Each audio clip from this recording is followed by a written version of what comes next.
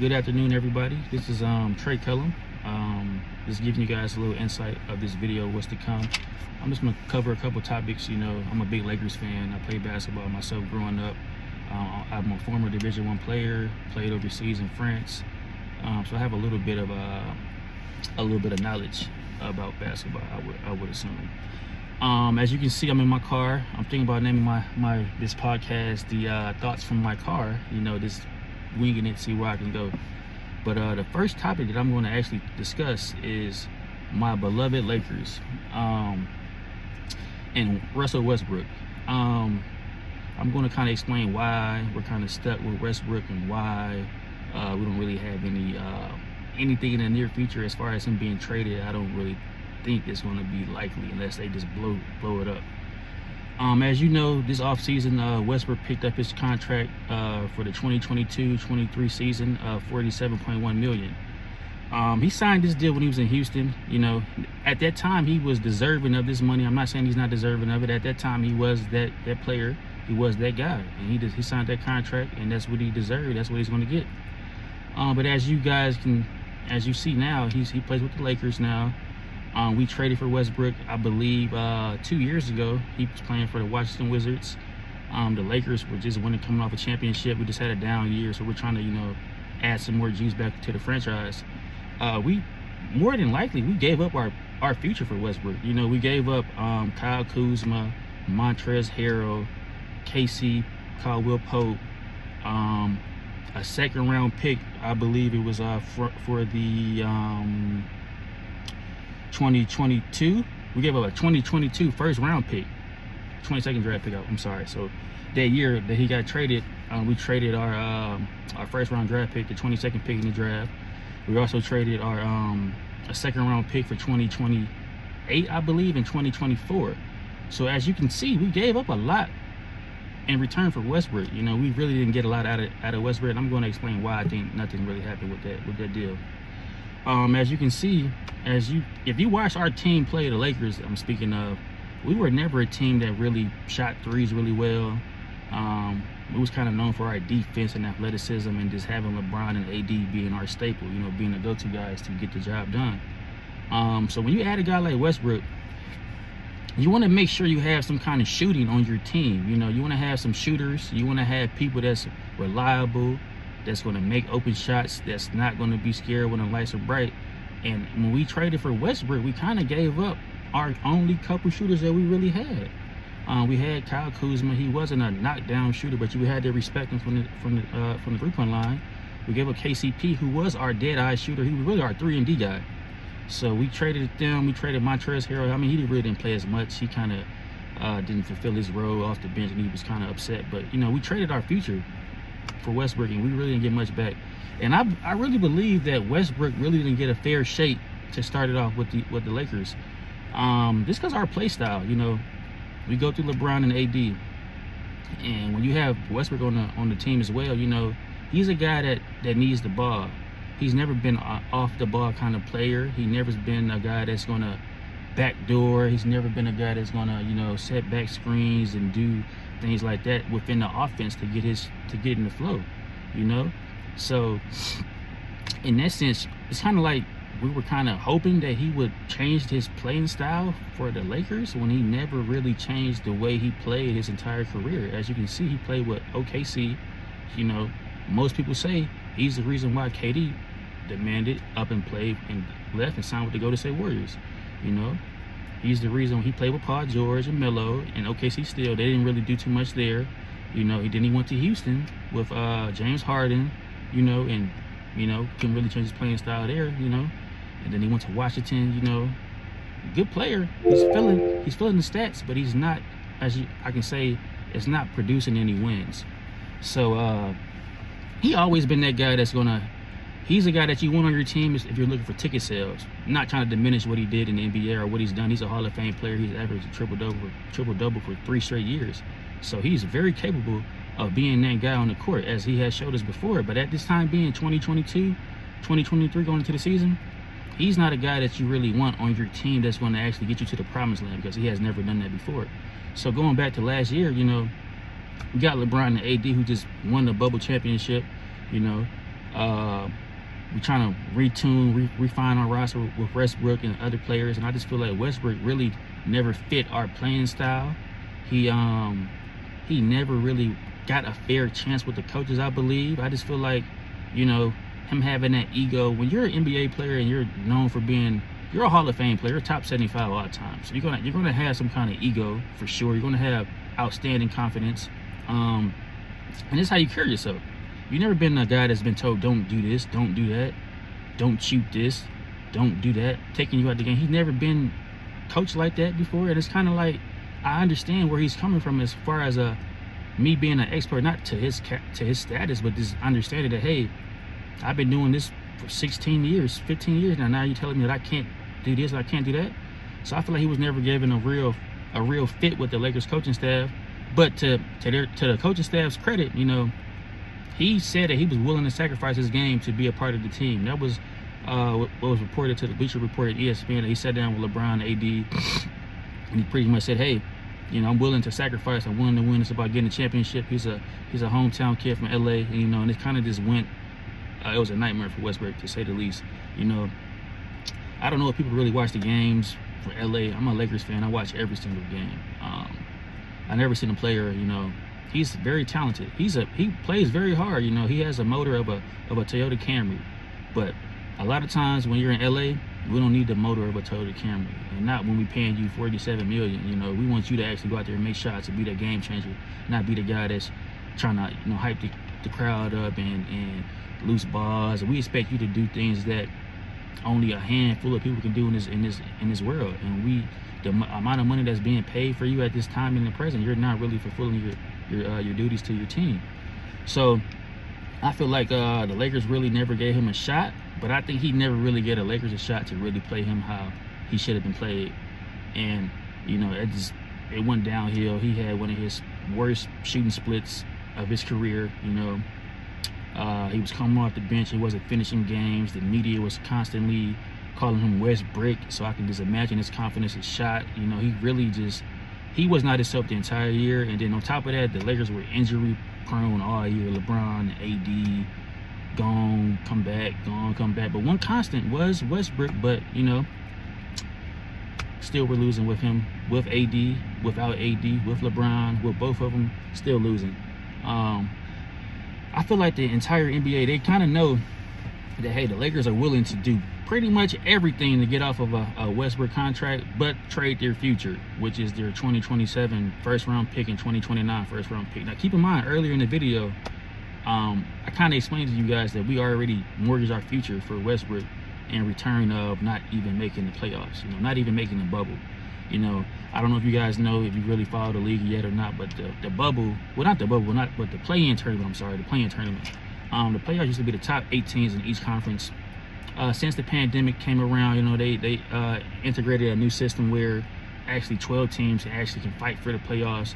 So really, they have an extra bonus shot to make the playoffs. Rather than it being the top eight, it's really the top 12, and then those four teams sitting outside the eight, they have a little mini tournament, and then you get into the playoffs.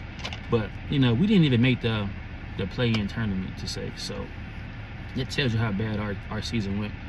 Um, so a lot of teams watching us crumble, fold under the pressure, laughing stock of LA, and uh, and we're in that win now state. We got LeBron James, who I believe is honestly the second greatest player of all time behind Michael Jordan. Um, you know, LeBron had an excellent year. Even though we didn't get the wins, he still averaged 30 points, eight rebounds, I believe six assists. You know, LeBron was still LeBron. So, you know, AD, he got to get stay healthy. But I believe in AD.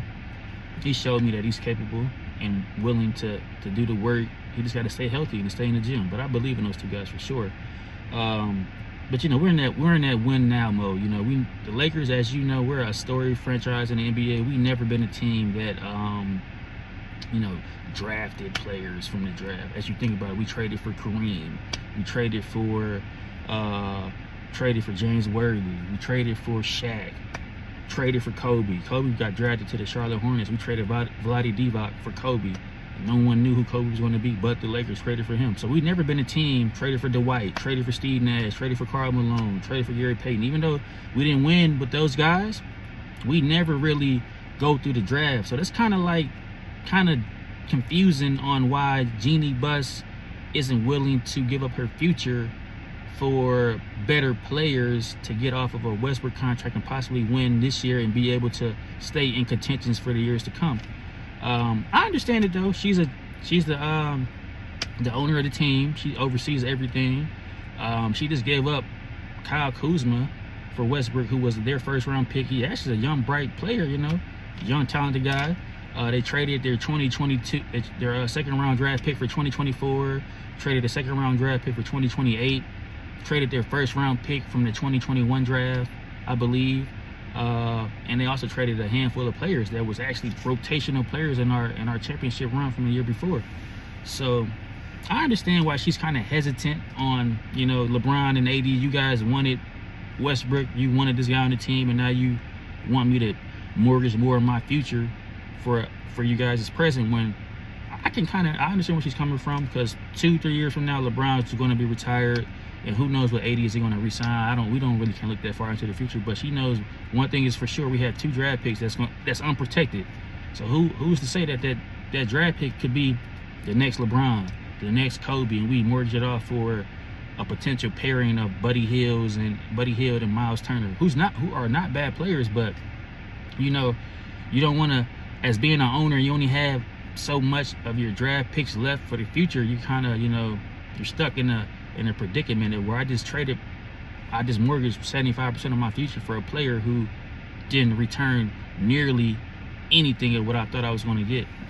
So we're in this dilemma right now with the Lakers. You know, can't get off the Westbrook contract. We were in talks of trying to get Kyrie.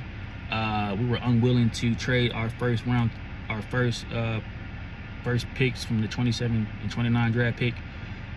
Uh, now I'm seeing reports that we were willing to trade it, but I'm not understanding why the deal didn't get done. Maybe it was just uh, smoke in the mirrors. I don't know, but that deal never kind of fruition. And as you all guys, you know now, K- KD and Kyrie, you know, staying in Brooklyn. So that's off the table. Um, so now we just got to kind of look forward to the to the future of you know the Lakers in this season. You know, whenever you got LeBron and, and AD, you got to fight. You got a puncher's chance. You know, we may not have this the strongest punch that we had two years ago, but we still got a puncher's chance to you know get to the Western Conference Finals. You know, Clippers gonna be pretty good this year. The Denver Nuggets still got Golden State. You got Memphis, a team that's young and hungry. So uh, you know, the Lakers we're just kind of a we're laying low, trying to keep our head high. You know, playing the underdog role, but you're a team from LA. There's no way you're the we're never going to be the underdogs. We're expected to be great, expected to win, expected to get the job done, as in the words of Kobe.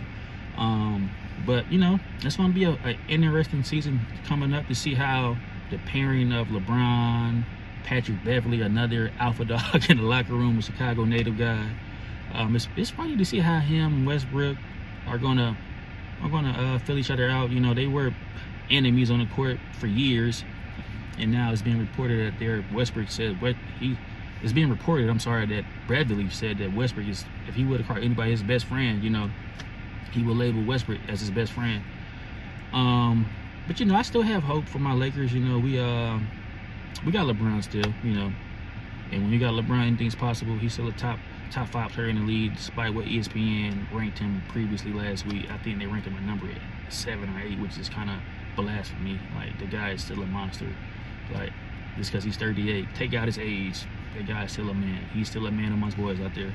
Um, you know, hopefully AD stays healthy. Um, hopefully, you know, if Westbrook stays on the team, hopefully he, he can incorporate his positives into a team goal instead of trying to be staying maintaining this I am the triple double machine of the past and I'm just I'm going to play it's going to maintain this way hopefully he can um you know scale back just a little bit. Don't want him to scale back too much where he's not aggressive and not looking to be uh, looking for his shot and not playing with that ferocity. We need that from Westbrook. We need him to be him at the end of the day, but we need you to allow LeBron James and AD to be who they are.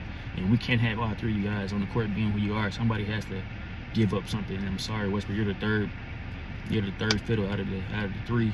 You know, um, we got a new coach, Darvin Ham. You know, tough, tough guy. Played for the Detroit Pistons. Um, blue collar guy, hard worker.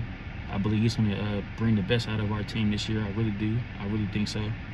Um, and we'll just see where it takes us. Hopefully, you know, me being a Lakers fan, I hope that we can kind of come to some kind of some kind of deal with Westbrook. You know, I would, I really don't want to see LeBron, you know, waste his waste another year at LA and not make make the playoffs. That's kind of ridiculous. Hopefully, he can get back into the playoffs. But um, me being a fan of the game and just really watching it and studying it, I'm, I'm hoping that we can come to some kind of deal that we can get off of this contract with Westbrook, and maybe you know he can get to a team where he feels that he's wanted because you don't ever want to feel not wanted from a franchise. You know, he's answering questions from the media.